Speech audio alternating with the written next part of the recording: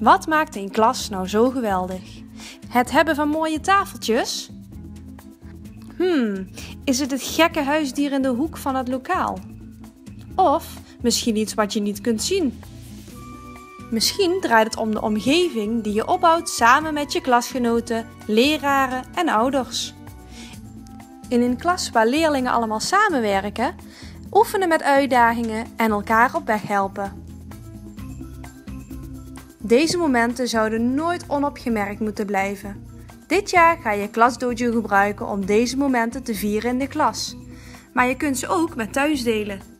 Je start allemaal met je eigen monster en elke keer als je een belangrijke vaardigheid laat zien, zoals hard werken of creatief zijn, kan je een punt verdienen op Klasdojo.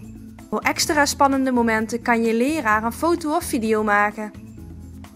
Het mooiste van alles is dat je ouders kunnen zien hoeveel punten je al hebt verzameld en ze kunnen meekijken met de onvergetelijke momenten in je klas. Dus laten we beginnen. Welke vaardigheden zou jij willen zien in je klas?